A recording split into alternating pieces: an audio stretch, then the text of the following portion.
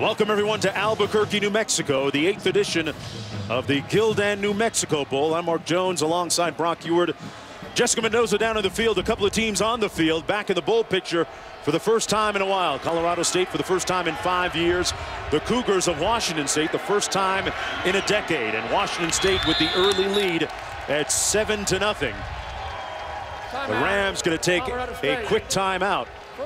And their second year head coach Jim McElwain trying to get his team together. Looking at a third down and two. Here's how we got to this point.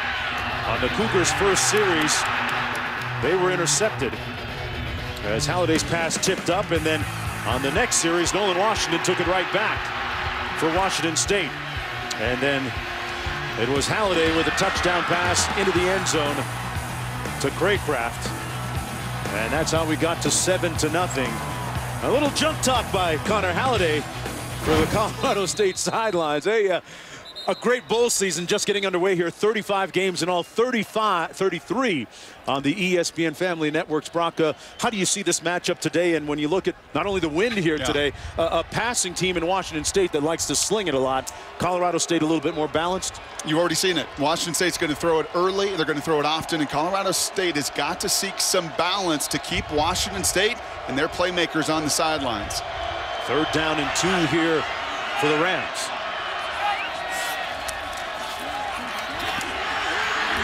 Grayson takes off, gets the first down and then some.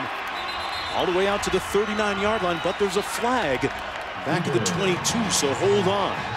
And it's going to come back.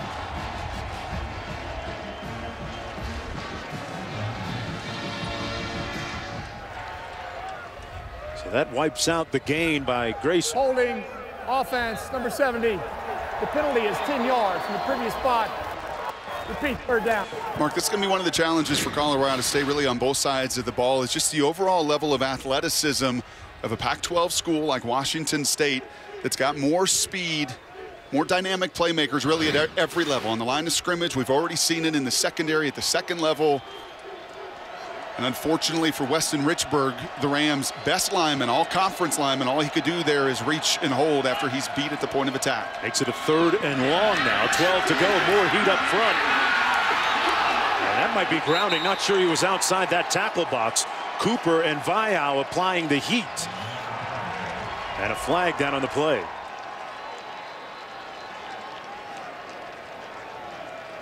So they've been able to get to him a couple times here early. And this is a Colorado State line with four redshirt seniors right now that are just not matching up to that overall size and strength of Wazoo. Those aren't blitzes. That's not real exotic looks. They're just getting beat up front. No grounding. The penalty is loss of down. It's part of the foul. Fourth down.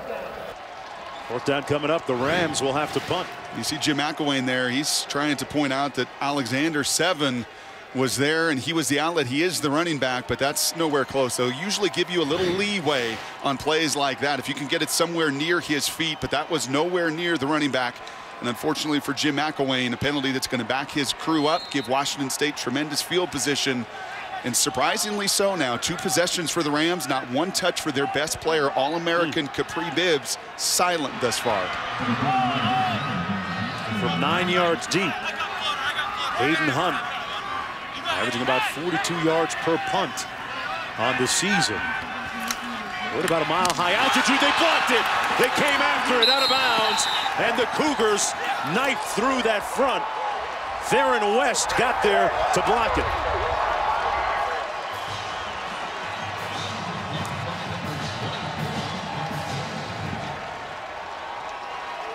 Theron West, who's back in the lineup this week.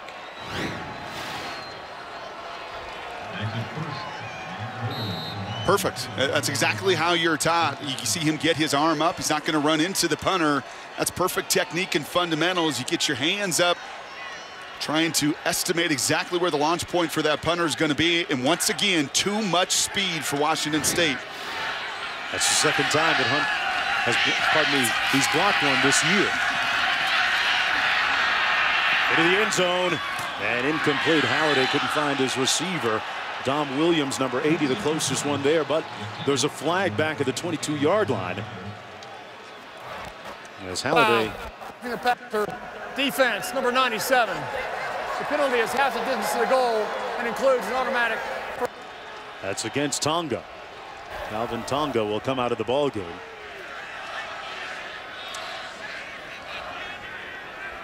Colorado State a little rattled here, Brock, in the early going. From the two now, they'll be first and goal.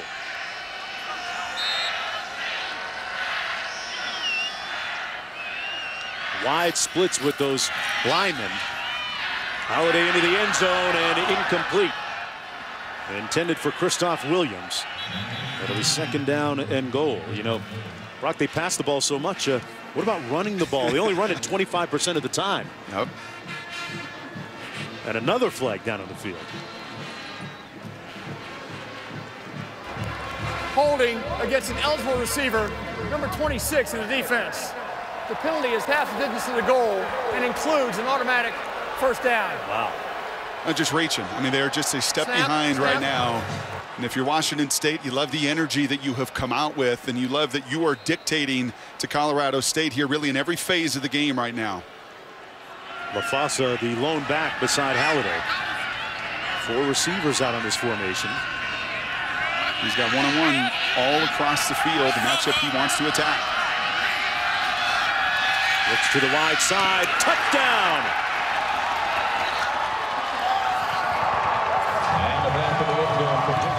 Gabe Marks.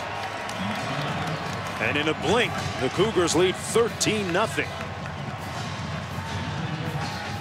We saw Marks, well, before some of you joined us, he was shaken up, had to limp off the field. But obviously healthy enough to get back and score. You see Halliday there, gets the call he wants, press man coverage across the board. He checks to the slant route, tremendous execution, and couldn't have a better start for the Cougs. Yeah, Washington State able to capitalize on the block punt. Here's what set it up. The block punt by West, his second ever. And then Marks making it look easy. The Rams a little rattled when we come back.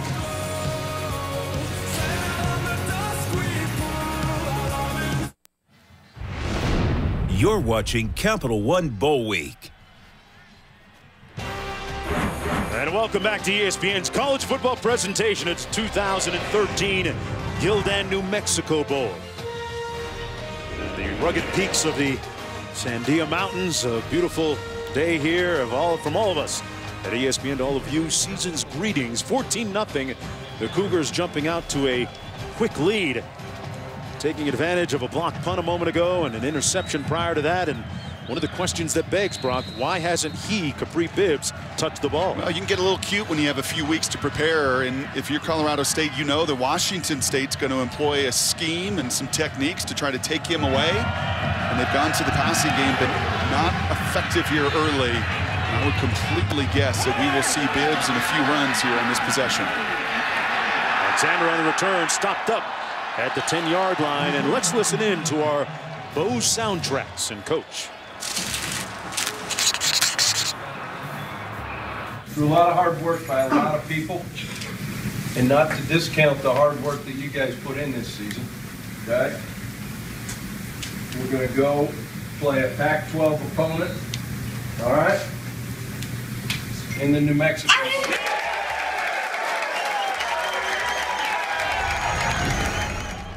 Well, that was our Bose soundtracks, the Colorado State's reaction to their selection for the 2013 Gildan New Mexico Bowl back on December the 8th. You can feel the level of excitement and see it and hear it there. And that was the first time, Brock, that Bibbs got a touch today. Bibbs ran for over 1,500 yards this year. Remember Colorado State making its first bowl appearance in five years. The Cougars first time in 10 years. Mike Leach's team improving from just three wins a season ago. Pretty remarkable with 35 bowl games. There's not one kid on this field that's participated in one yet until today. Wow. Second down and nine. Bibbs again. Check that. That's Alexander getting the touch. They'll rotate Alexander coming back from a knee injury. And let's take a look at today's impact players brought to you by Bell. Both All-Americans. Walter Camp, second team All-Americans. Bucannon was actually a first team All-American by the Associated Press. And Bibbs has fought a little turf toe. I also wonder if that's played a role as to how quiet he has been here. I would expect Bucannon, you will hear this afternoon. I don't know if there is a player that uncoils and hits harder in college football than Deone Bucannon.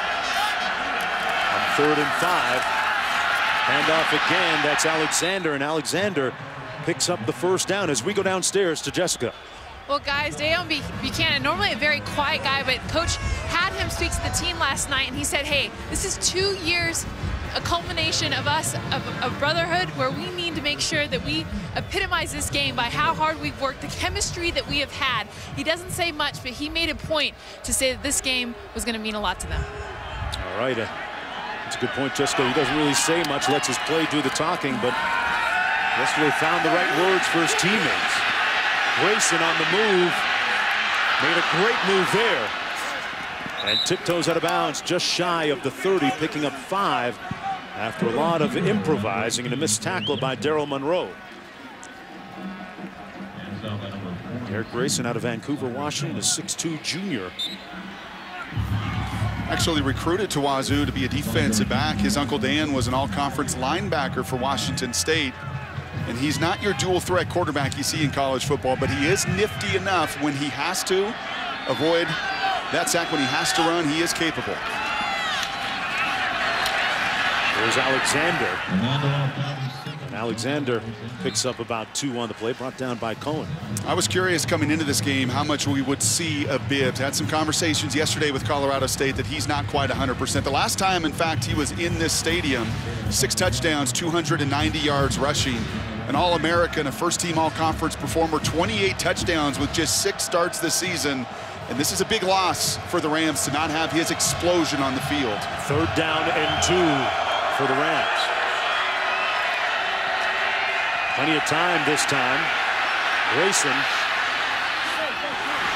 finds Alexander and he stumbles just a little bit short, it looks like, of the first down. Fourth down coming up, Brock, with that much to go, seemingly.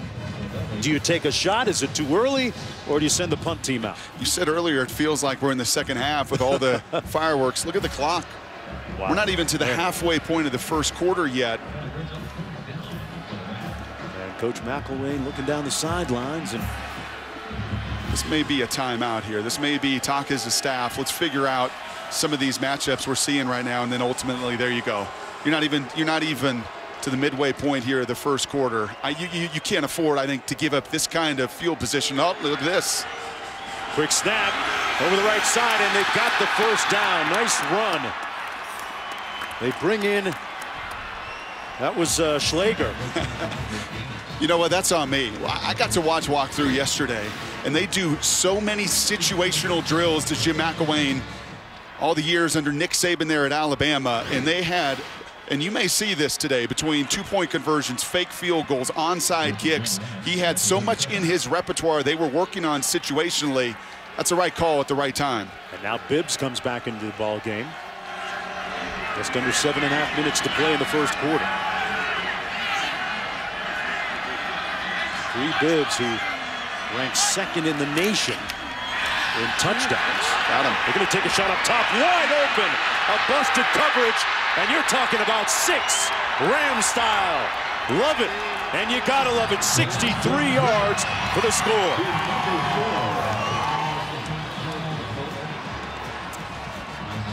Even though you've not seen many carries for Bibbs, in fact, just one here in the first quarter, it's his effect on the field, and you love the play action and you're absolutely right, Mark. This is a complete bust. The backside coverage there for Washington State gets lost with their eyes. They're looking in. They have heard so much about Bibbs and Bibbs and Bibbs.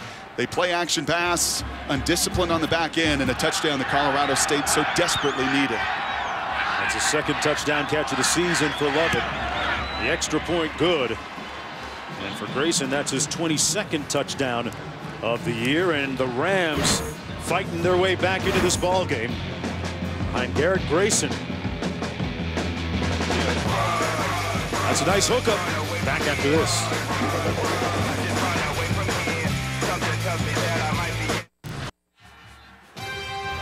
The 2013 Gildan New Mexico Bowl is brought to you by Gildan.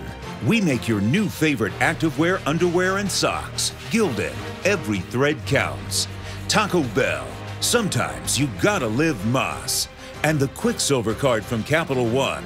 Earn 1.5% cash back on every purchase. I tell you what, uh, folks, I might have the bravest partner in all of America taking that balloon ride yesterday. Look at look at Brock. How, did, how high up are you there? You know, we took the oxygen mask off. We were about 18,000 feet. Actually, that's not true. You, you, don't you don't get up real high in those balloons. Yeah, I got a little cocky there. I was doing I was I was doing a little Connor Halliday right there. I was doing a little I was doing a little talking. Yeah. Albuquerque, New Mexico, the balloon capital of the world. And uh, what was the best part of that flight, that trip yesterday? Well, the whole time wondering where you were, to be, to be quite honest. I'm grounded. I get motion sick. Now, this is a beautiful city, and we're going to chat with Coach Davie here a little bit later, the head coach now in New Mexico. And, and I'm not spending a ton of time in Albuquerque, but you could just tell with the players as well.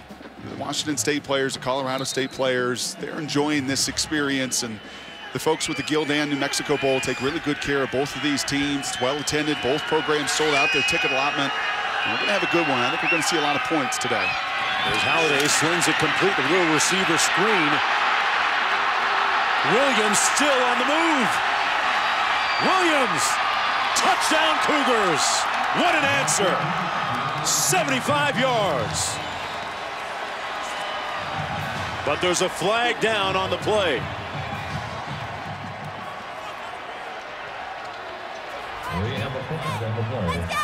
And you could tell by the muted reaction from Connor Halliday, this might come back.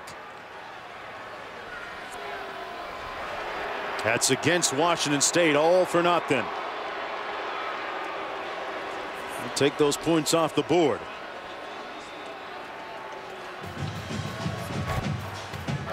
Bobby 10 yards? 49. Yeah. 40. So the penalty against Washington State.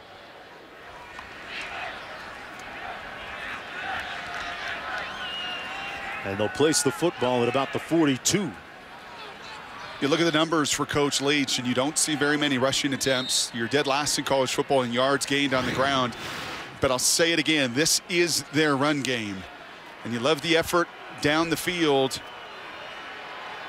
yeah, and you do it. You see Mayle just reach out, number one there, reach out with his arm to the very left of the screen, grab the jersey. Good call. On first down, great throw and an even better catch at the 46-yard line by Ricky Galvin.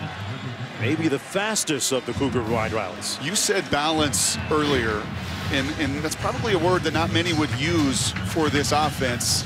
That's good at the NFL level as Galvin tiptoes in. But the balance is 10 different guys with 25 receptions, spreading the ball sideline to sideline, vertically as well.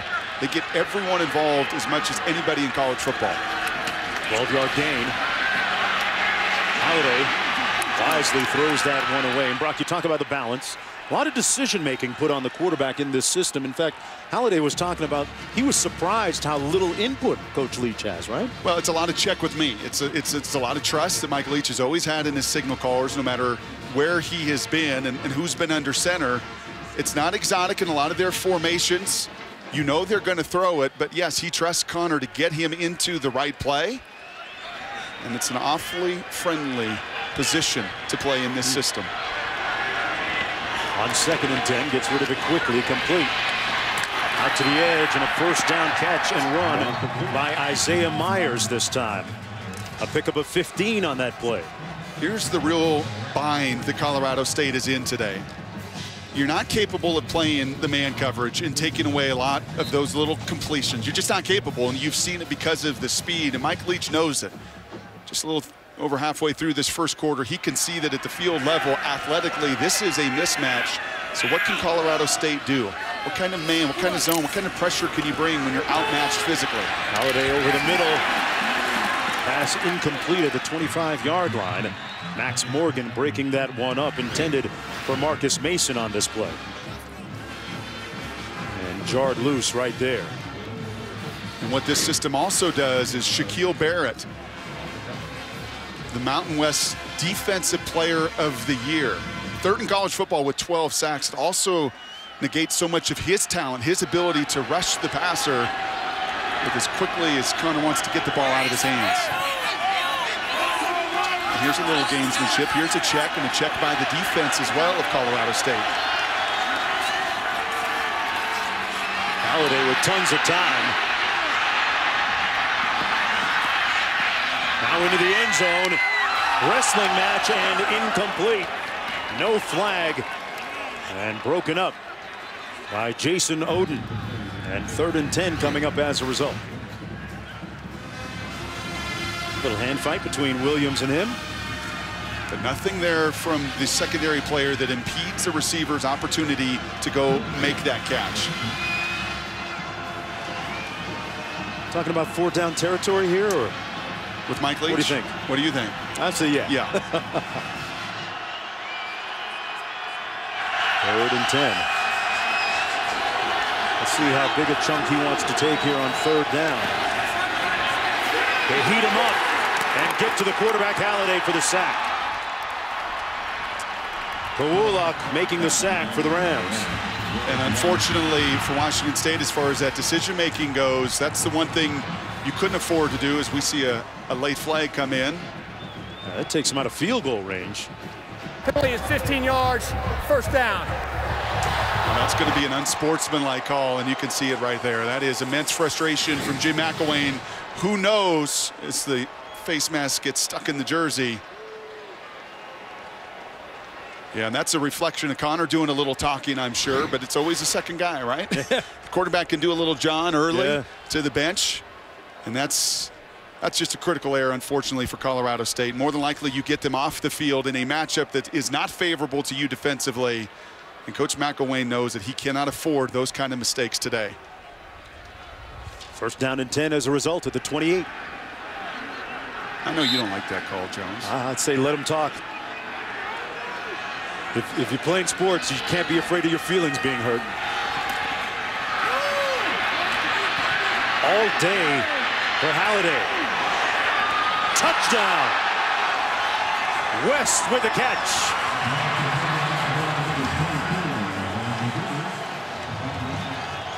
And the points continue to pile up for the Cougars. Pick your poison when you're playing Connor Halliday in Washington State. And the Rams of Colorado State felt like they needed Connor Halliday to be put in those situations. That if he was able to get into rhythm and get the ball out of his hands, it was going to be a difficult day. They wanted to see him extend the play. They felt like that's where the sacks and the turnovers have come, but not so fast here in the first quarter. Three touchdown passes already for Halliday. And it's 21 to 7. Colorado State may have given up a touchdown on that last throw, but they put a lick on Halliday. Sometimes it might be worth it if you're Colorado State.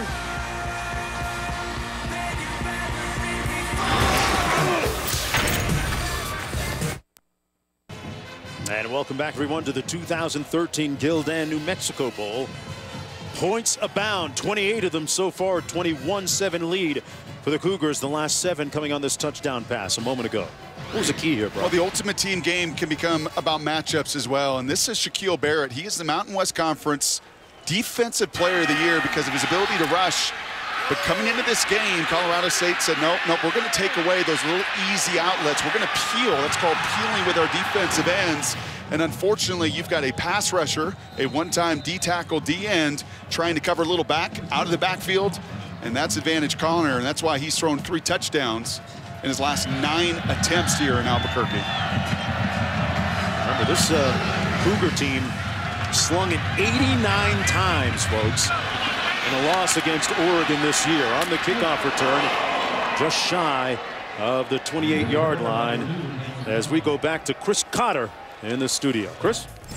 Mark, plenty of football across ESPN networks this afternoon over on the Deuce. Northwest Missouri State trying to win another D2 title with a 36-21 lead over Lenoir-Rhyne. And then on the U, certainly Cougar fans know a little bit about this. Snow and fog in Washington, Cheney, Washington to be exact, but Towson with a 14-0 lead over Eastern Washington in the FCS semifinals. Mark, Brock?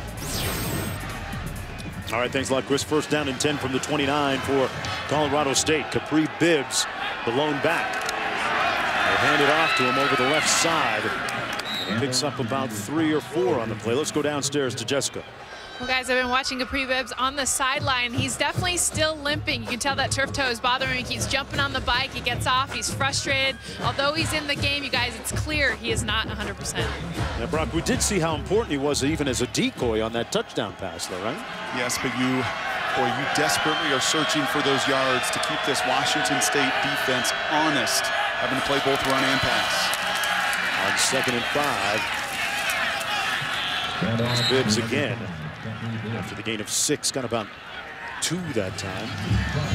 Short of the first down by about a yard and well, spotted about 38.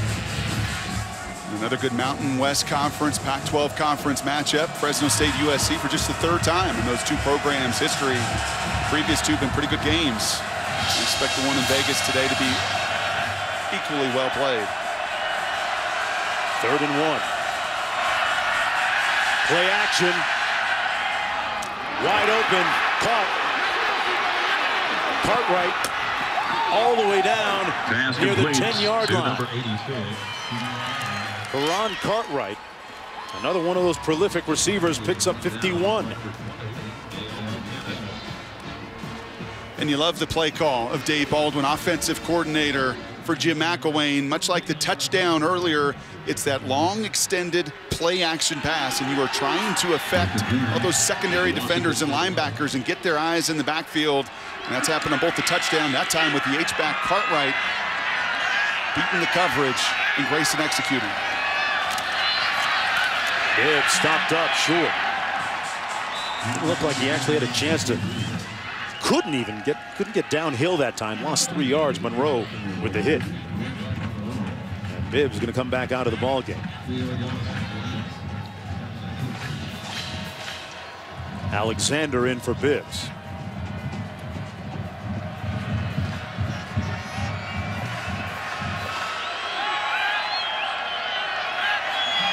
Second and 13. Complete to Lovett who scored the touchdown on their last series, picked up four. Third and about nine coming up. Interesting play call here, partner.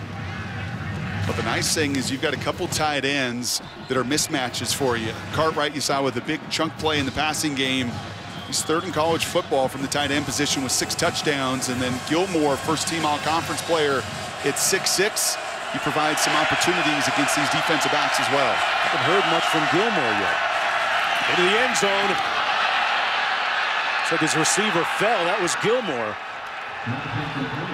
And it's incomplete. A little bit of contact. Yeah, you saw Gillmore there, unfortunately, stumble there and the inability to get to the ball. Going to bring in Steve Shaw, head of SEC officials, joining us here in the booth. Uh, Steve, explain that call to us. Why there was no flag? So you saw the back judge immediately. He ruled it. It looked like there was contact, but with the signal uncatchable, the ball was well over his head, so no foul. Right. And in comes the place kicker, Jared Roberts, 17 of 20 on the season. This one from 25 yards out. And he hooks it inside that upright. And the field goal is good. Let's go back to that non-call and what Steve was talking about here. Steve, explain again for our audience what exactly happened on that play. So you can see right there the ball clearly there's no way the receiver has an opportunity to make that catch. So there cannot be a foul for pass interference if the ball is uncatchable. Now, is that, Steve, because the tight end stumbles and falls there? Because obviously Gillmore is going down. Does that does that back judge have to make that decision right there because he stumbles, he can't get to it, or simply because of the direction of the pass is uncatchable? Yeah, he's he's really we're gonna these guys are great athletes and we're gonna give them an opportunity. You know, they can leap, they can do all that. But but clearly there you see that uh, you know there's no way he's going to be able to get to that ball, and that's why he immediately ruled it. So therefore everybody knew when he put that signal that was what his judgment was in that case. you saw the official with his motioning with his hand over his head. That's unfortunate for Jim McElwain, and I, I think that's why he's going to have some continued conversations with the guys in the stripes because that's the play he wanted. You got the matchup you wanted. You got six foot six Gillmore, but unfortunately Grayson's got to bring that throw down and give his receiver an opportunity to make a play, much like Halliday has done on the other side for Washington State. 31 points scored already. With just under three minutes to go here in the first half.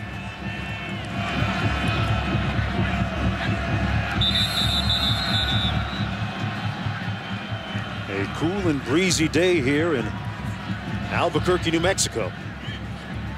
Eighth edition of this bowl game, and traditionally we've had some outstanding, compelling finishes and beginnings in this one. Look at what the wind is doing close to the field. And it's blown off the tee again. We're going to have to have someone hold it. Colorado State out of the Mountain West Conference taking on the Pac-12's Washington State. A couple of teams and coaches in their second years respectively with their programs. 15 to 20 mile an hour winds, but you've seen both quarterbacks do a pretty good job of cutting through the wind. And what you have really seen is Washington State's overall athleticism just too much here for Colorado State in the first period. Williams on the return, almost found an alley over the right side and tripped up just around the 25-yard line. Well, Capital One Bowl Week on ESPN continuing Monday with the Beef O'Brady's Bowl as Tyler Tettleton leads the Ohio Bobcats against Shane Carden and East Carolina. That's Ohio against East Carolina. And the Beef O'Brady's Bowl, part of Capital One Bowl Week, Monday at 2 on ESPN, also live on Watch ESPN. First and 10 now for Connor Halliday. 31 touchdown passes now on the season. There's going to be a few more today. The receiver screen complete. Number 18, Kristoff Williams. You may have heard me a little bit earlier, and folks, that was not a typo. You didn't hear me incorrectly. Washington State threw the ball 89 times this year in a single game, albeit a loss against Oregon.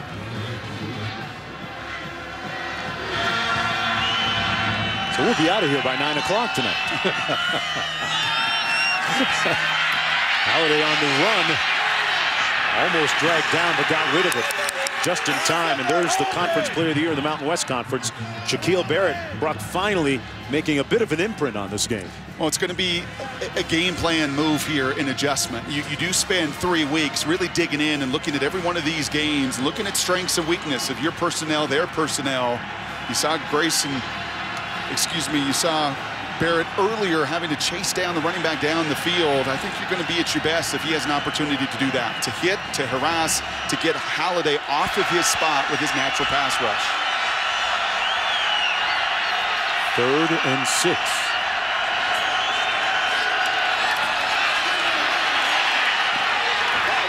Pass a little bit high and incomplete. Cracraft couldn't hang on to it. And Halliday was facing a fierce rush. Fourth down and a, a bit of a win here for the Rams well, defense. that's one of the first times you've seen Colorado State bring pressure, and they said enough's enough. We've tried zone, they're throwing underneath and beating us. We've tried to play man and peel our defensive ends, they're beating us. So that time you bring more than they can block, trying to force an errant pass, and that's exactly what happens, and force well, the first punt here for Washington State. And Michael Bolin in to punt this. A little over 39. I mean, that's Concepcion punting this time.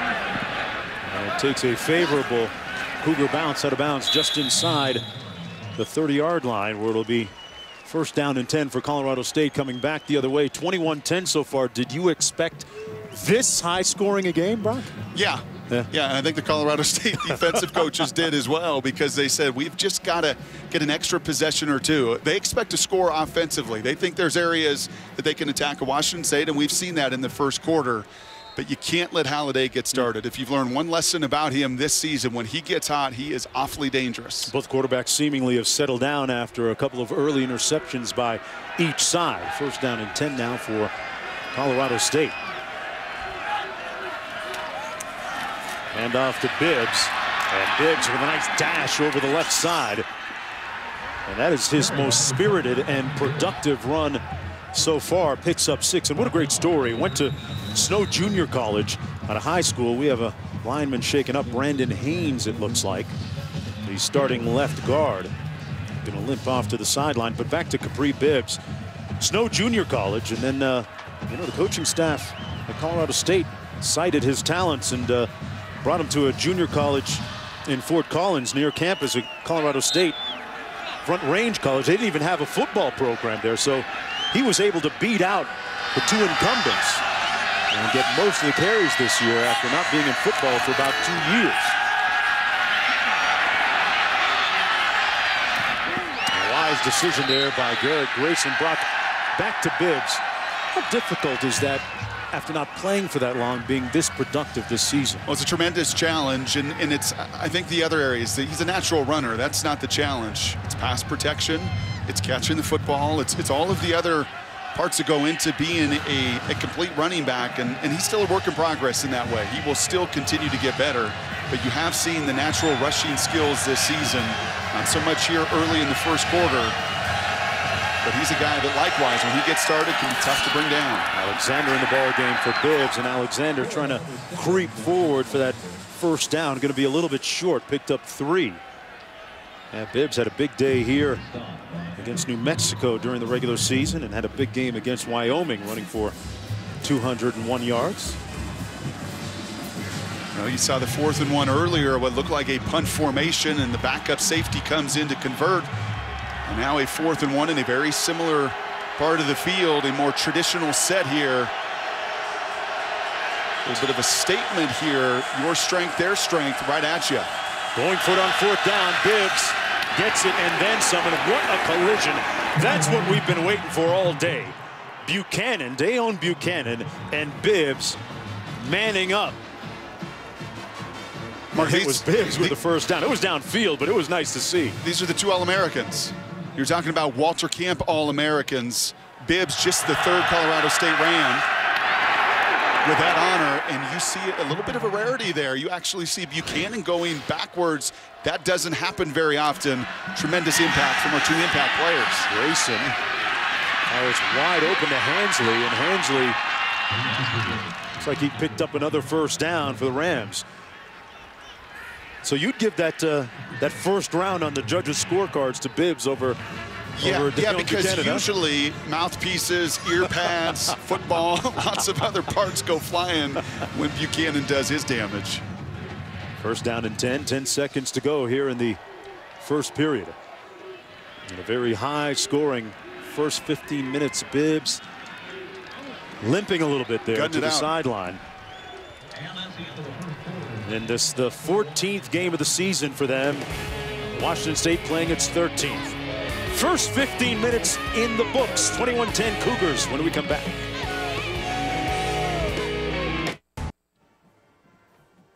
Visit WatchESPN.com or download the Watch E ESPN app to watch ESPN live anytime, anywhere. Brought to you by Vizio. Look at the uh, Sandia Peak Tramway here in Albuquerque. Terminates at the top of the mountain with an elevation of over 10,000 feet, folks. Uh, I was there on my uh, snowboard yesterday while Brock was doing his uh, balloon thing. No, not quite.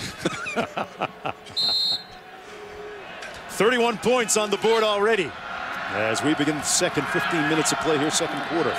Mark Jones, Brock here, Jessica Mendoza down on the field. Little receiver screen, incomplete, dropped by Joe Hansley. Hansley uh, played a lot as a true freshman.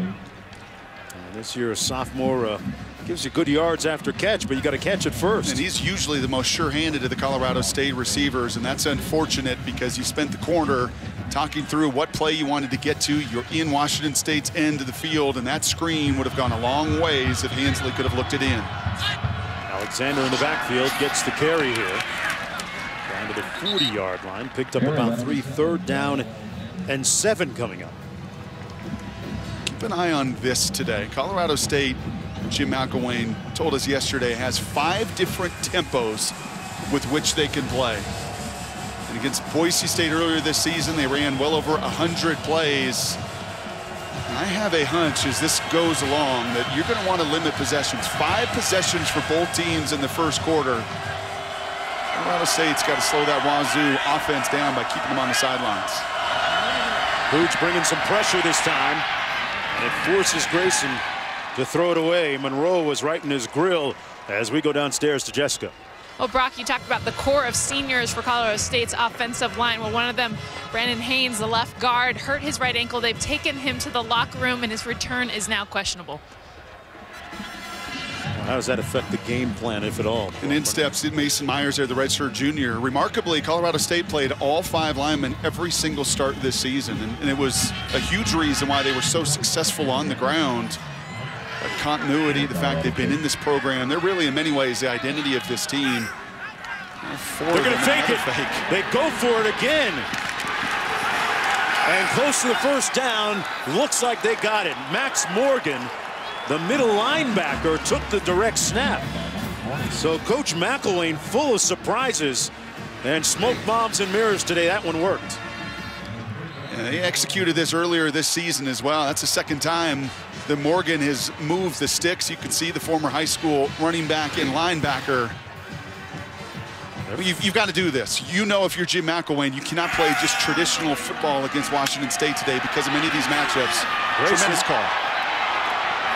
Still on the move. And throws it out of bounds. To live another day. The, uh, Coach McElwain from the Nick Saban coaching tree.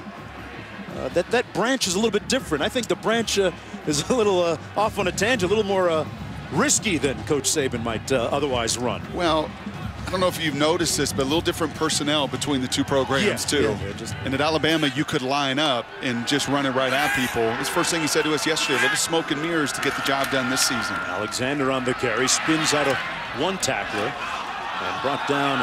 Ball came loose. Deone Bucannon made the hit. And they're going to say that he was down. Pickup of three on the play by Alexander. And guess who? Yep, down Bucannon. If you are a running back and wide receiver, you've watched enough tape to know that around the pile, look at the little explosion. Doesn't look like much. Anytime you see that headgear jostled because of the impact, even in a very small, confined space, you know Bucannon's around. Bibbs back in the ball game, gets it into the boundary.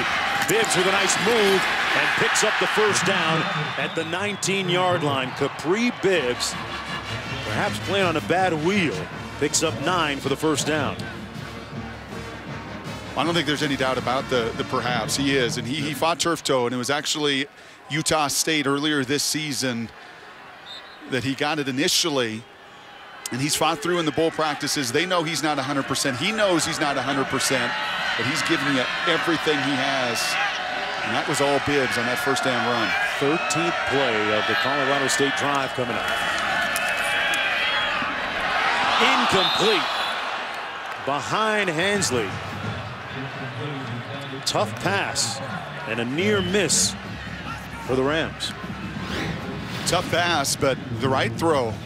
He's throwing it away from the safety there. You see Casey Locker, 22. Is that on the receiver or on the quarterback?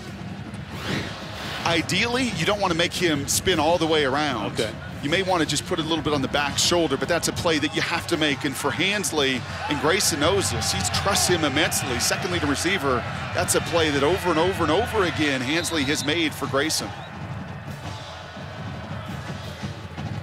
Second down and 10, a long drive by Colorado State, their longest of the day. Remember we had that Central Florida game earlier this year, and I told you that a quarterback can throw, and by your precision can throw into a safety, away from a safety. That time he's trying to take him away from impact. Unfortunately, the two can't connect.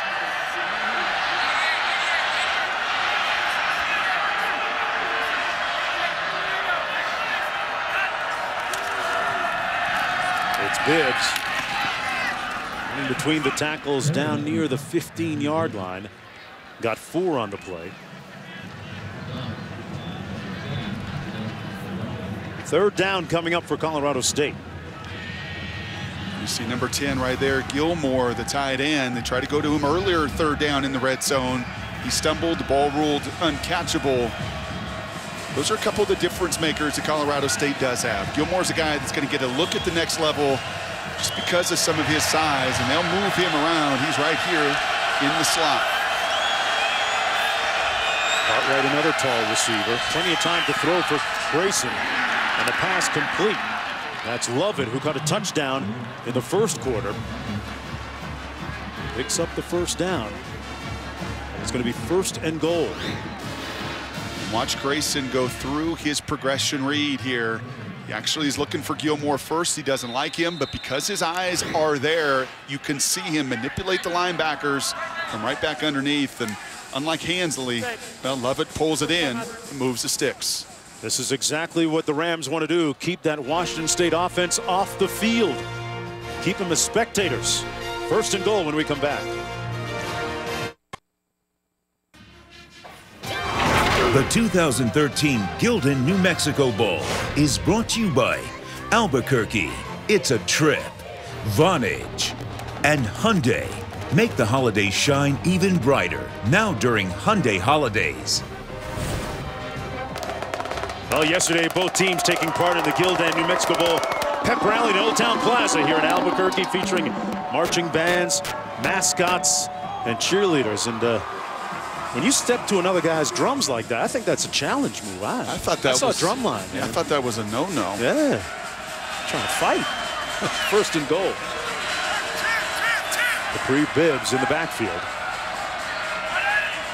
Longest drive of the ball game for the Rams. Bibbs on the move and stopped cold at about the three-yard line. Got a little over a yard on the play. Second and goal coming up.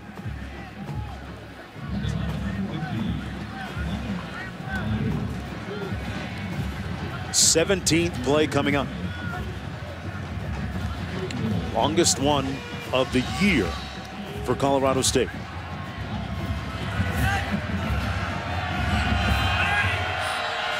Doesn't mean a thing without points. A little movement up front.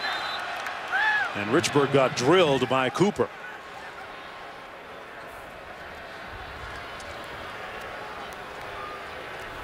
Dead ball foul. Offside by contact, number 96. Half the distance of the goal. It remains second down. Smart. And Richburg actually a high school quarterback back in the day. And he takes one for the team. But when you've got four redshirt senior linemen and a guy like Richburg in the middle making his 50th start, there's some conversation between center and quarterback of, hey, these guys are getting a jump. These guys are really itchy. Here's your chance to, to, to hard count them and get you a little freebie. Bibbs couldn't break the tackle, brought down short of the end zone again. Pole making the stop, and what an interesting week it's been for Tony Pole. Had to clear up an academic issue earlier this week, flew back to Pullman to take care of it after reports surfaced that he was going to be ineligible academically to play, and then got it cleared up and flew back here to Albuquerque, hence in the lineup. Big part of what they do up front. Four down territory. That'll be third and goal. Longest drive of the season for Colorado State into the end zone, into coverage and incomplete. Hansley, the intended receiver, fourth down coming up. And McElwain with a decision here. And down in the red zone, your reads and progressions, well, they hit a lot faster. And yes, while the play is designed to throw it to the back end zone, look at that. You see two Cougars converge on Hansley. That underneath route, that slants a touchdown, but that clock, everything goes faster when you're down there in the red zone. And instead of four down territory, you're going to take the points and try to make this a one possession game. Robertson to kick the field goal. But hold your hat, he's already had two fake punts. Don't sleep on Coach McElwain today. Roberts knocks it through. And it's 21 to 13 after the 19-yard field goal with just under 10 minutes to go. The Rams burn some clock and put some points on the board.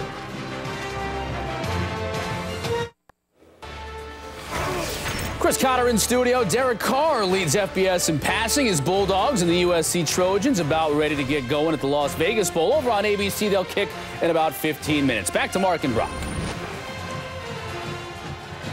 All right, thanks a lot, Chris. Back here in Albuquerque, New Mexico. Colorado State with a field goal. It's now 21 to 13. It's Brock, Mark, and Joined now by the head football coach in New Mexico, Bob Davie, former partner for five years. Thanks for joining us, partner. Well, good to be with you. I know it's extremely cold for you today, coming out of South Florida. so No you got doubt. your gloves on, and uh, Ready for the Brock, weather? Brock doesn't have anything, uh, anything on. Ready for the weather. Year two for Coach Bob Davie, and uh, we'll talk about uh, his prospects moving forward, as long as well as the uh, Mountain West Conference and other issues and other notable things. The kick. And it'll come out to the 25-yard line. Bob, uh, hey, we got a couple coaches in, in this game today. Mike Leach and Coach McElwain, second year on the job, your second year on the job. How difficult is it when you come in that first year identifying things and establishing a plan and, and moving, moving forward You know, I think every situation is different, but so much credit to Mike and Jim uh, to come in and just put your identity on it right away. You know, you look at Colorado State, you know, a lot of the Alabama style offense, Brock, the big multiple tight end zone play action pass, and then Mike Leach, you know what his identity is. So you, you see both those guys putting their fingerprints on their jobs immediately.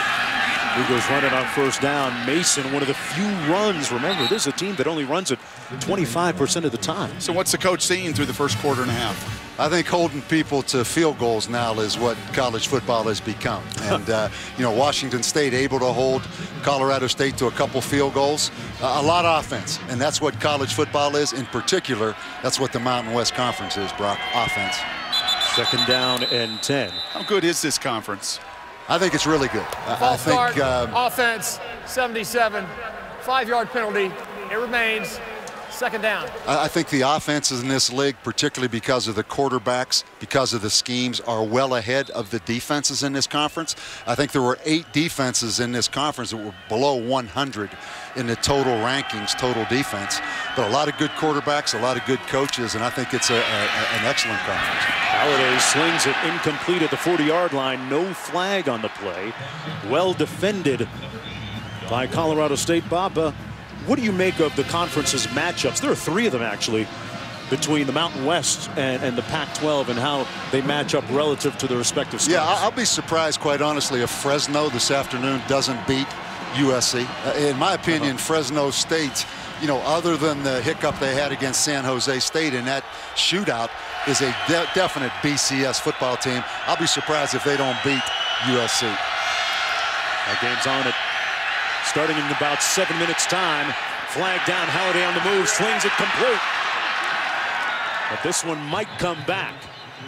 Yeah, that's going to be that's going to be a hold, and you've seen Colorado State coach Davie here in these third downs get to some pressure. I think they felt like they wanted to peel off and play some zone and take away the first and second options for Halliday. He's burned them. Holding And you've seen on the offense, number 58. The penalty is 10 yards. The previous and you've seen a bit more pressure here from the Rams in the second quarter as Yeah, you see Barrett hold. forcing the hold. They held the right guy. That- he's a heck of a player. But what you see is how difficult it is to get pressure on the quarterback.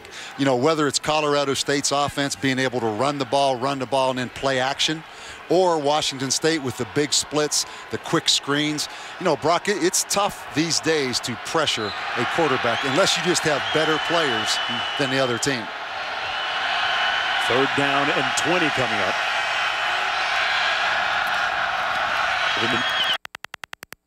This time, pass complete to Kristoff Williams. Uh, Bob, you you said that you know when you were with us in the booth for several years, you said if you ever went back to football, you'd run that quarterback duck. And I looked at the numbers, buddy, and you've been running that quarterback duck here in New Mexico. Yeah, you remember that. You know, I mean, just in our situation, Mark, to kind of level the playing field right, Right. now as we rebuild this program, option football has been outstanding for us. And all my years at Notre Dame playing those service academies, I knew if I got back in it, I'd have some element of triple option. Not a great punt, but a very favorable roll for Washington State all the way inside the 20-yard line. Coach, we're going to ask you to stick around for one more segment after that 54-yard punt, and we'll uh, chop it up a little bit more on the other side of this. Back in a minute. I went with And welcome back, everyone, to beautiful Albuquerque, New Mexico. A look at the piercing shoulders of the Sandia Mountains. 21-13, Mark Jones, Brock Huard, joined by head coach of New Mexico, the Lobos, Bob Davie, former colleague of ours here. Bob, hey, you've seen number five Kapri Bibbs play quite a bit in this conference. So what do you make of his relative talent so far? First of all, I've been here two years. It's the first time I've heard piercing shoulders of the Sandia Mountains. But no, Bibbs is a player, and he's really, in a lot of ways, ignited this program from Jim McElwain because they love to run the football so much.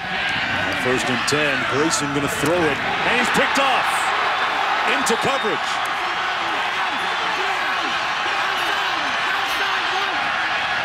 And it's Bucannon, the playmaker. Does it with hits and does it with his hands. His sixth of the season. And the second interception thrown by Colorado State.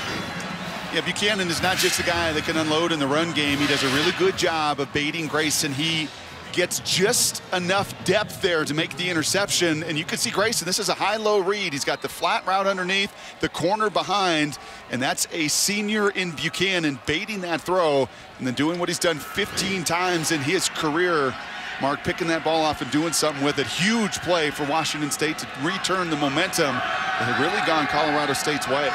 Mason in the backfield, a lone back. Let's see if they take a shot here on first down. They hand it off instead to Mason. Found a seam and makes it down to the 13-yard line. Bob, you, talked about the mentality of just trying to hold them a little bit when you play defense in this conference. Yeah, and what kills you, that's really three turnovers for Colorado State because they had the uh, um, holding block punt. offense right. number 60. Penalty this one's going to come back.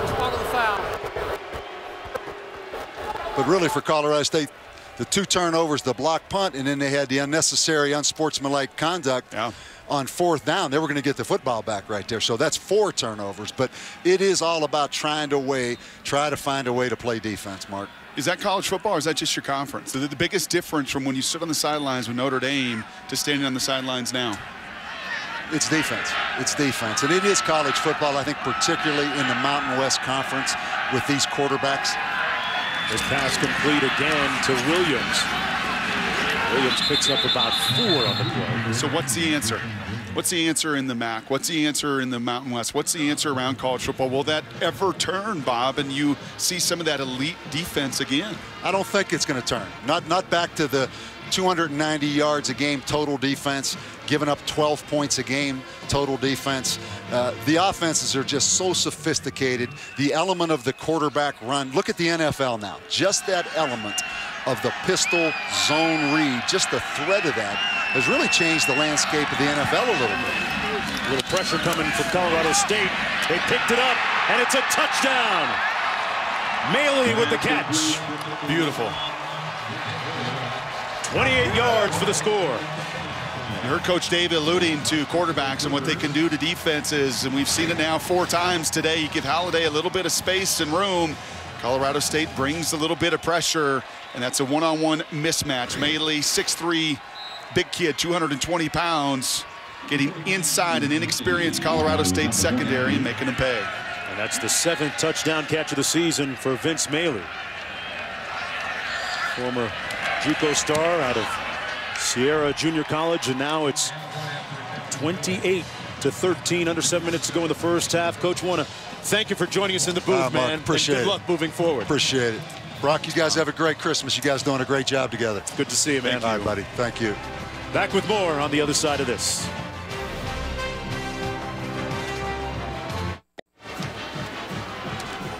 And welcome back, everyone, to the 2013 edition of the Gildan, New Mexico Bowl, 28-13. Washington State with the lead, and the records continue to tumble for Washington State. Halliday's four touchdowns ties a bowl record, and we have more than half of a football game to play still. And if you're a Washington State fan, you're excited about his redshirt senior year because you put the tape on from week one to where this team is now, where this offense is now, and his handle of where everybody is on the field. I mean, that, that's so critical for Mike Leach. His level of balance is attacking every inch of the field. And when he has a quarterback that can see it, that can check it, that can read, well, you have a chance to take advantage as he has done. Mike Leach, almost every single year he's been a head man. It's really helped that his offensive line hasn't given up as many sacks as they did a season ago. They gave up over 50 sacks last year. Hey, folks, tomorrow morning, get your NFL Sunday started off on the right foot at 10 a.m. Eastern Time on ESPN Sunday NFL Countdown. Chris Berman and the gang providing all the latest news updates from around the league right up to kickoff. And then before you set your lineups, catch Fantasy Football Now at 11 a.m. on ESPN2 as our experts provide all the information you need to give you an edge in your fantasy leagues, including your fantasy kickers who might make a comment after they kick a game-winning field goal. Huh? About that last week? You could do that when you kick six and the last one's from 61. First down and 10. Let's see how the Buffaloes respond after the interception that led to the touchdown. Gibbs, pardon me, Bibbs on the carry and uh, Jessica with more on Bibbs. Well, if you guys notice, Bibb's right cleat is different from his left. It's a special cleat made for the turf toe that he has. It has a metal plate in it. And guys, normally your toes will flex in a normal shoe, but this metal plate restricts that flexion and keeps his toes stationary, which helps take up a little bit, take off a little bit of that pain. I guess they can do or have to do anything they can to get him on the field. Pass complete. Just shy of the 40-yard line to Rashad Higgins. First down and 10. It's a big drive. I mean, this is a really big drive. Your margin, if you're Colorado State, is very slim today because as we talked about a number of times, many matchups on this field do not favor you. As Coach Davie alluded to, the interceptions, the block punt, you know, to even be within 15 right now with so many of those mistakes, you got to take advantage here before you go into half. Bibbs broke a tackle and spun forward to the 40-yard line. Picked up three on the play. Eric Grayson uh, trying to lead this team back and steal some of that momentum back. I think what you lose with that steel plate in that shoe is just an explosion that you do see on film. I mean, he hits a crease and has done it so many times this year. He's gone. That's just not going to be the case today. Grayson into the flat. Complete. Going to mark it about the 40-yard line. About a one-yard gain to Charles Lovett. And back to quarterback Garrett Grayson. You know, one of the tipping points, maybe the turning point of the season for him was after that Tulsa game. He met with Coach McElwain and you know, he was just 12 of 29 with two picks in that loss.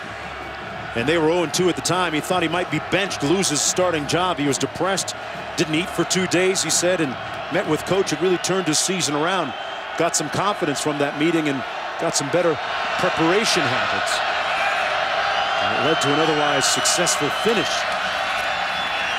Looking for success here, won't find it. Sacked back at the 33-yard line by Paolo. And fourth down coming up, and he comes up limping. That's the fifth sack on the season for Paolo. And that is just a four-man rush. You can see Grayson trying to work through his reads. But when you rush four, you collapse the pocket as he reaches for his lower leg. Now, there's nowhere for him to throw, and that pass rush for Washington State not been tremendous this year. Just 19 sacks coming into this game, but they're being effective with that four-man rush. Leon Brooks back standing for the punt, ready to receive it at the 26. I think the Rams took off a little bit early there. It's against Colorado State.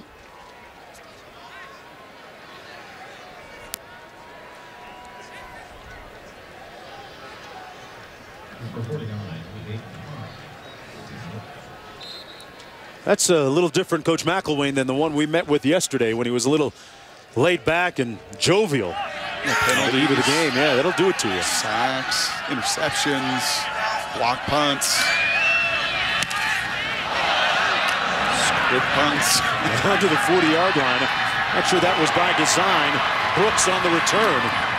And it's a good one into Colorado State territory. And pushed out of bounds just shy of the 40-yard line. Just a 33-yard punt and 19 on the return. One more look at this punt. Yeah, and that's just, that is a miss. Now he is kicking and punting into some of that wind. You can't afford it. I mean, you just cannot afford it against an opponent that that outmatches you in many, many ways. You just can't afford the real estate that you're giving up in the special teams games, the turnovers, and let's see if Washington State can really pounce and put some pressure on Colorado State. The touchdown drive here. That pass complete. to Cracraft. Cracraft with another first down for Washington State. Six foot freshman, true freshman out of California, picks up 16.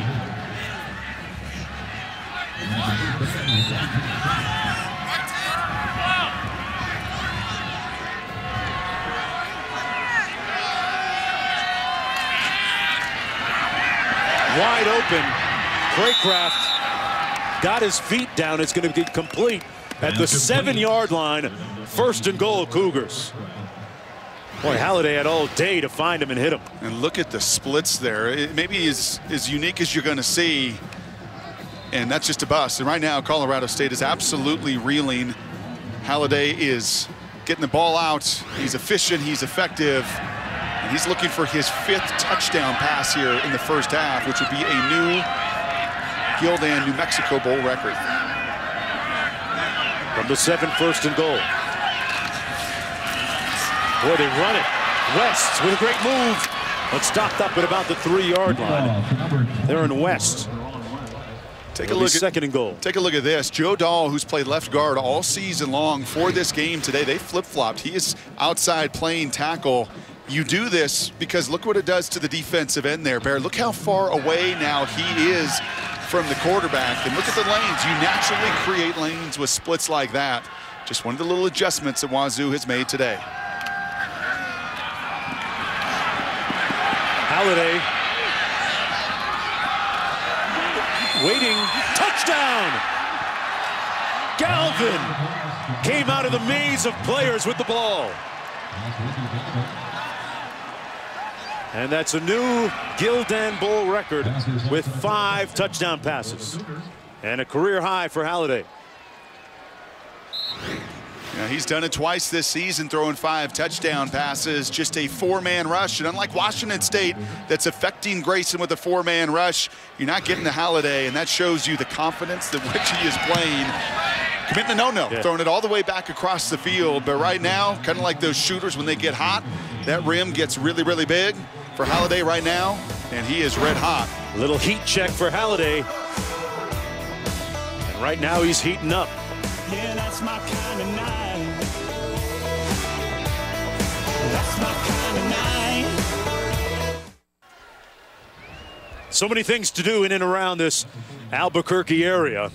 Besides attend a great football game, the Gildan New Mexico Bowl. Look at that scenery. We're about, what, about 10,000 feet up at that point. Looking down on the valley to the east to the west. So many great sights in and around Albuquerque. How many touchdowns are you going to see today? That's five already. My guess is Mike Leach is not going to come off the accelerator.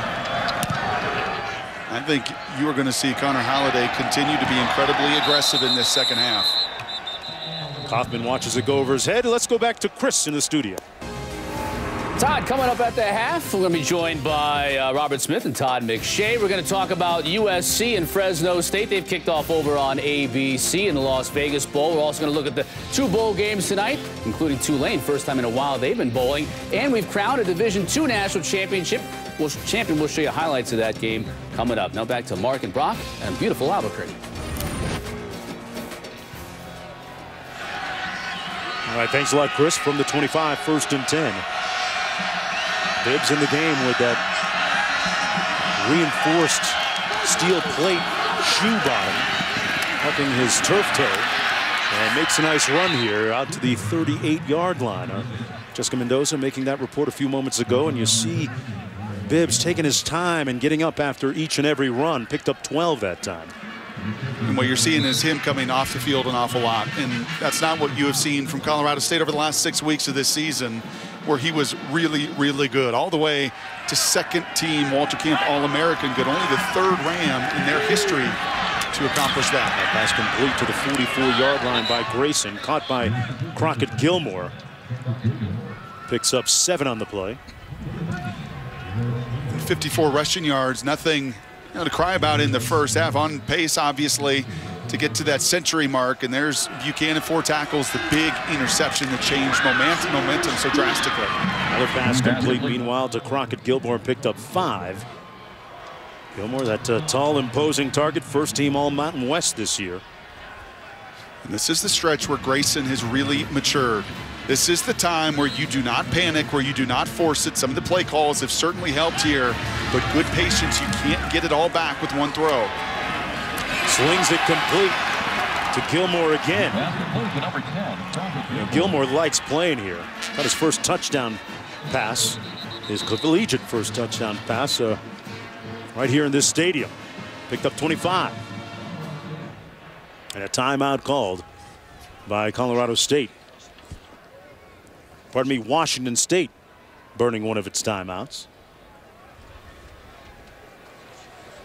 Well, a lot coming up in your stocking stuffers, including Christmas Day NBA basketball, Bulls, Nets, OKC, Knicks, Heat, Lakers, and Rockets, Spurs, Clippers, Warriors. That's the one. I'll be down in San Antonio with head coach George Karl calling that one. Brock, uh, yeah, what do you make of the Dwight Howard, Tim Duncan matchup there? A couple of good, talented bigs. I know you're an NBA guy. Hey, you know, you're from Seattle. Do, do your loyalties go to OKC still, or do they transfer? Oh, did I just start fight talk?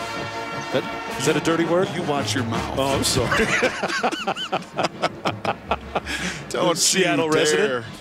You got a lot of folks in the Seattle area right now listening to this. sorry. Yeah, they're not mentioned in the same breath, my friend. Okay. I know better. I apologize. First down and 10 coming up. Alexander in the backfield. Bibbs on the sideline watching.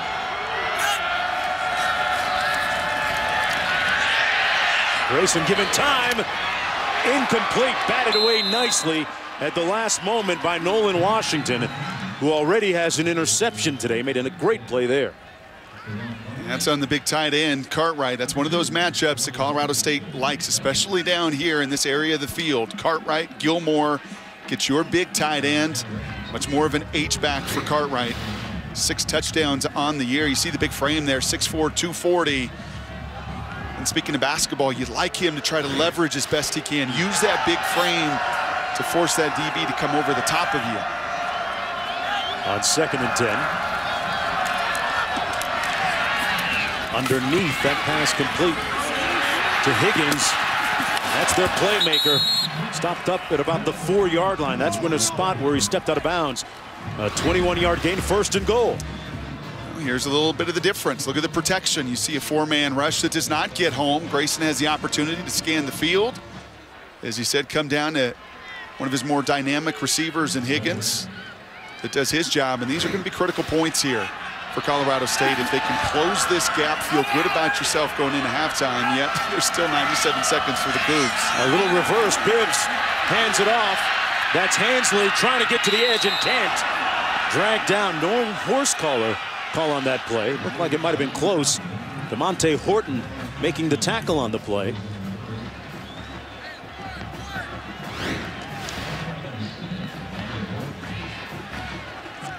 And that could have drawn the flag there. Second and goal coming up.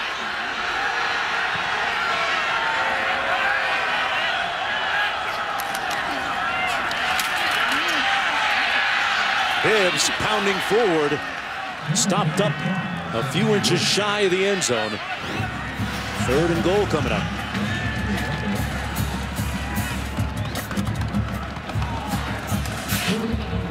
You got to think that they're going for it here on fourth down, even if it comes to it, right? Yeah, you would think so. And I'm a little surprised that Washington State's not used a timeout here to save these seconds as well. They break the huddle quickly. They overload the left side.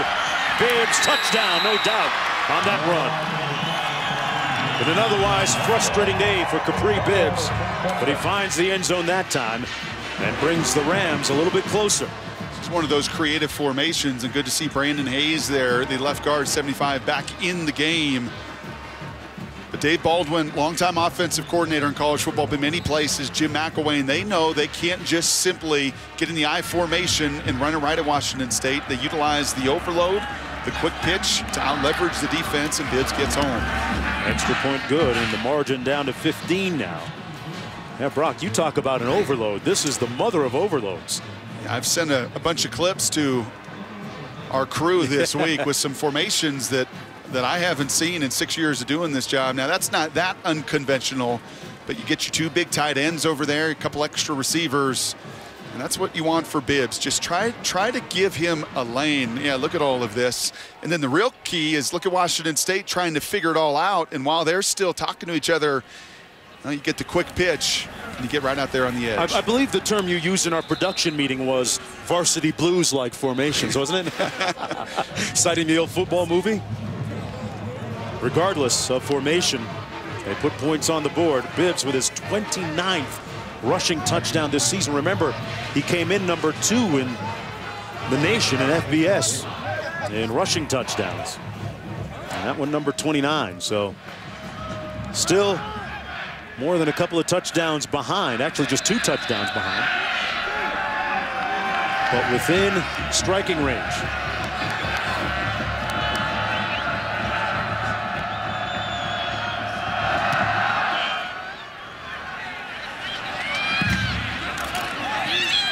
The 12, it's Williams. And Williams down just outside the 20-yard line. Hey, after that last touchdown by Bibbs, look what he does. Does this move look familiar? you remember Joey Porter, folks, right? Well, there he is on the sidelines. Now a uh, coach with Colorado State. He made a promise to his mom that he was going to go get his degree and met with Jim McElwain and Coach McElwain said, how many credits you need? Yeah, I'd love to have you back. And he's been a real good influence. I think Shaquil Barrett, yeah, I think more than anybody else has really taken to his coaching and teaching and been the beneficiary of having Joey back on campus. That pass incomplete. Porter, longtime pro with the Pittsburgh Steelers. And Coach McElwain telling us that he's been a real great help to not just the defensive side of the ball, but uh, everybody. Second and 10.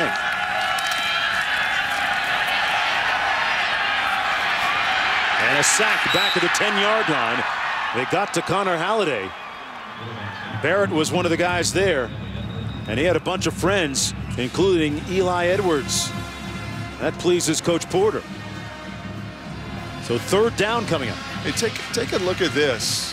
When we had that shot of, of Porter over there on the sidelines, you could see I was watching Barrett to look over to the sidelines and Joey was giving him a little inside move. You saw him wave inside. And actually, that last rush, Barrett does exactly that. That's a guy that's rushed quarterback for many, many years in the league that tries to get a little bit of a feel for what that offensive tackle was doing it.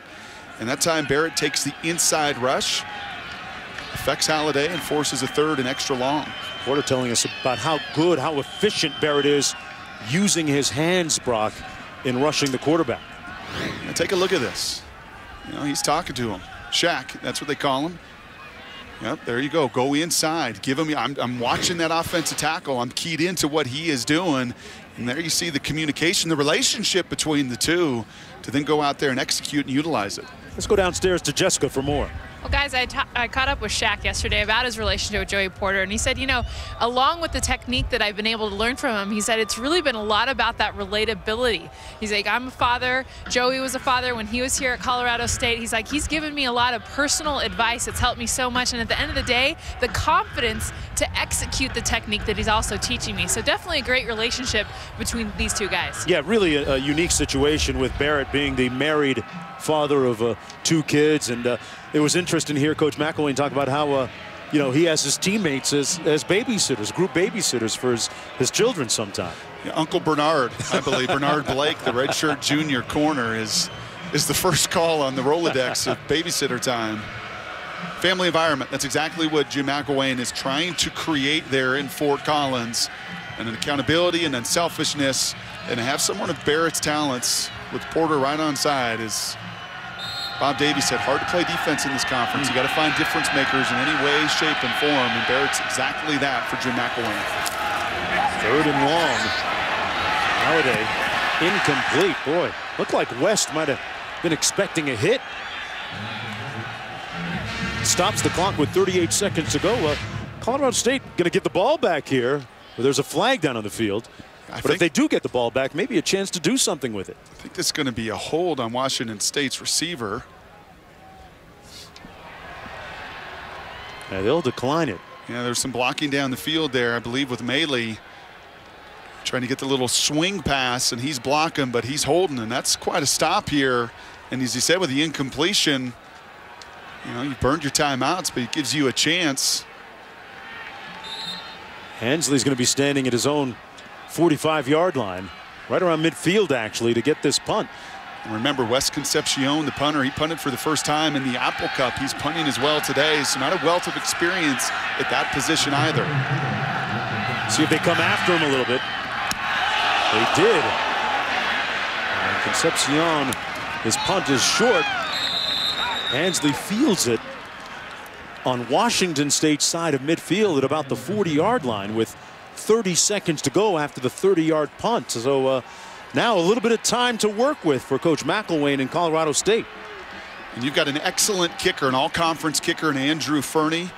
It's 15 of 19, oh, excuse me, it's actually Jared Roberts, 17 of 20 on the year, long of 54. You're thinking points here if you're Grayson. You're absolutely no sacks, no negative plays. You're thinking points going into halftime. No timeouts remaining, though, for the Rams. Got to work quickly and efficiently.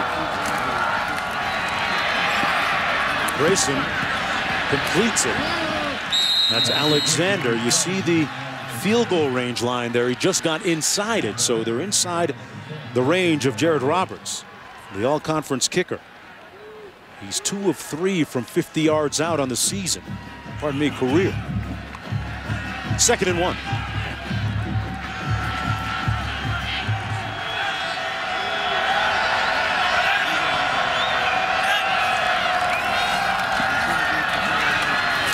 Pass incomplete and a flag thrown. The defender was Satoge working against Gillmore and uh, That's Sagote trying to go through, I think, the bigger body tight end. Unlike the Cartwright on that incompletion in the end zone. Boy, that's huge, Brock. Yeah, you're going to see Gillmore use that big frame, 6'6", 255 pounds, and force Sagote to go through. And it, it, I guess it's the contact on the back there usually if you're not impeding that receiver's route, you don't see the arm around. That's that's a tough call, I think, for the Cougs right there, for, nope. and for Sagote in particular. No timeouts remaining for Colorado State. Pass incomplete. Maybe tried the back shoulder pass to Alexander. Sagote was being worked on again. Incomplete stops the clock with 15 seconds to go. Okay, now with 15 seconds, you you have to throw it beyond the sticks. The clock will stop with 15 seconds. You have an opportunity, Mark, to still throw it beyond the sticks. Clock stops. You can then still throw it away and get a chance to get the field goal kicker on, but it's got to go past the sticks here. Grayson under heat. Well, at least he didn't take the sack. He almost got sacked. Good pressure by Palacio. And it's fourth down coming up. Pardon me, third down and 10.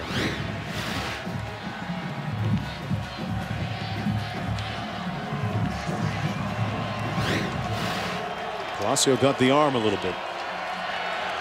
11 seconds to go. No timeouts remaining. Grayson with a ton of time, but he's got to watch the clock. Five seconds to go. He gets down. That's not going to do it. No timeouts remaining. Fourth down coming up. And they stop the clock because he got the first down. And they're going to run the place kicking unit on the field. Wow, that was a dangerous play, Brock. Yeah, but this clock In terms is of the clock.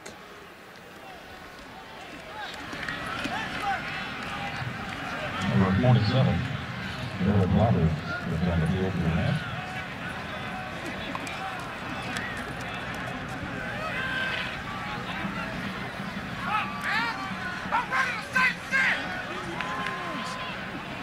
And we had one second remaining. We have lost time on our monitors.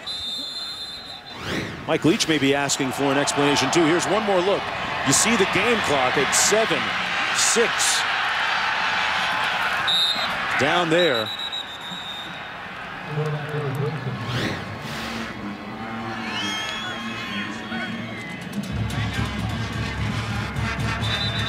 Colorado State was, according to our records, out of timeouts.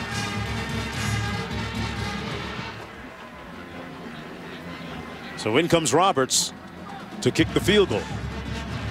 Yeah, they must have burned a timeout, Mark. There's no other way to explain Yeah. that. They must have had, unfortunately, a timeout left there, and fortunately for them to take. So in comes Roberts. This attempt from 30 yards away. And now the Cougars are going to try and put him on ice on this cold day.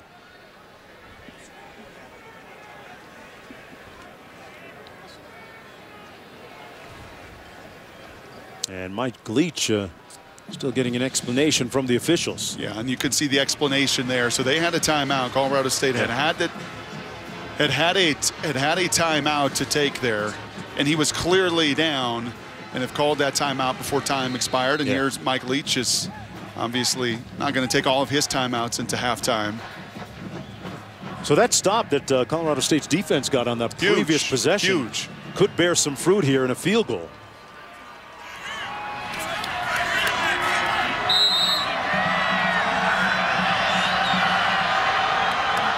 Jared Roberts from 30 yards out. And it's a 12-point game. That's the end of the first half. An interesting first half here in Albuquerque.